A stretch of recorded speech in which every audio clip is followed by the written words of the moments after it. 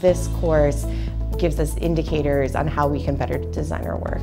I chose LSE because it's such a center for academic research. You really can't compete with the quality of professors. I also really just enjoyed, you know, the diversity of participants in the class. I was fascinated by the curriculum and the syllabus. I was interested in a international group of people that I could learn from in a broad set of industry and companies. So this course has been eye-opening for me. It's inspired me to read more into academic research that I wouldn't have done in the past because I wasn't aware of it.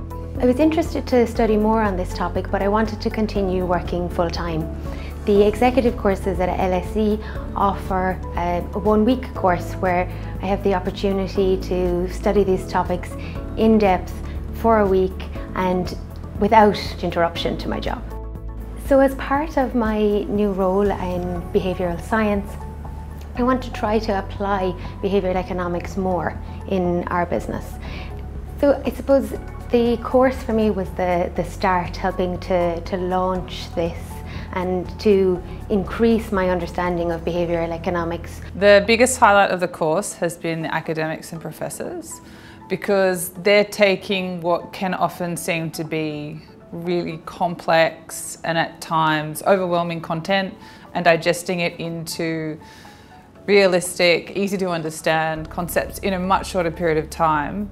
I have found it really interesting to immerse myself in this topic for the week, to learn more about the concepts, but also to really see where this can fit within my business and within financial services more generally. To anyone else considering taking a course at LSE, um, I would absolutely recommend it. You know, world, world-class professors, world-class participants, um, world-class location, and I just don't think that you could do better.